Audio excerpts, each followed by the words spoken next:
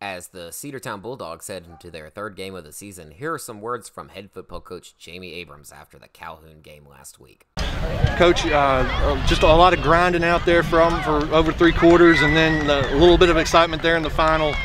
Uh, gosh, seven minutes of the game. Uh, talk about the, just what you saw from your guys tonight. If you saw a change in them from last week. I did. Uh, I just got through telling them, you know, we fought.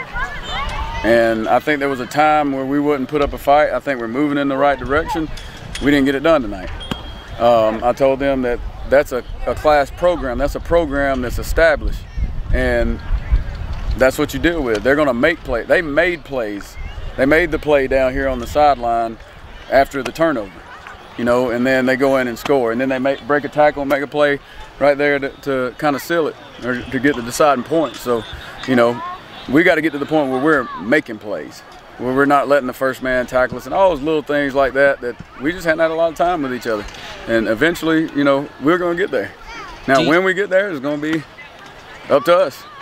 Defense held tough tonight against a team that's traditionally very high scoring. Talk to, to us a little bit about what you think their effort was. I thought the defense's effort was outstanding. I mean, we're playing with a bunch of young guys, um, some guys that you know, probably need another year or a few more weeks of seasoning to, to be ready to play on Friday night, and they played their butts off. Uh, we held held a, a high scoring team. You know, they, they give up 41 or they score 41 against Dalton. So, you know, we're taking steps in the right direction.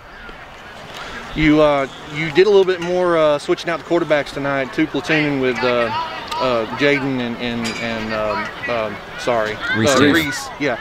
Uh, talk about the the the think the the thought behind that and just how you thought that worked out tonight. Well, I thought um, I, I, think both of them do certain things well, um, and they both play defense. So at some point they they got to catch a break, and, and we have to give them breaks, and, and they they've those two kids have done an outstanding job with one another and and supporting each other and learning from each other and talking with each other. They've done an outstanding job, and they got they must keep that up for us to be successful. Um, New Manchester this coming week. Talk to us a little bit about what you think the team needs to do uh, to to adjust a bit and and find the, the rhythm that they're looking for. Well, that's the thing too. We got we got to get some guys back and, and, and get healthy. Um, but just keep doing what we're doing. I think I think we're making strides. Uh, I don't know anything about New Manchester. Don't really worry. I worry about us more than I worry about who we're playing. Um, we just got to keep doing what we're doing. Show up to practice every day.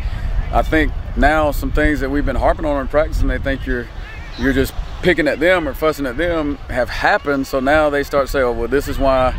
This is why he's telling me this, mm-hmm. and uh, I truly believe that those things, uh, those things will pay dividends. And it, but we got to do it in practice. Well, the good news is, is you got two more non-conference, non-region games to uh, to kind of fix some things up before you dive into the region play. So.